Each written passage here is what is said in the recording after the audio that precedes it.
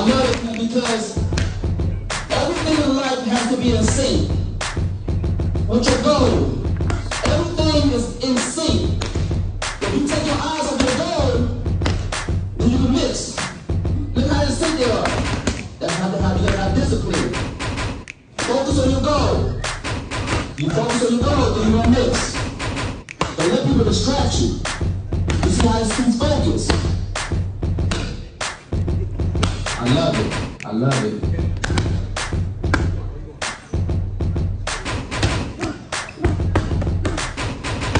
What I'm learning is the power is not attached to his focus as much as the rhythm of things.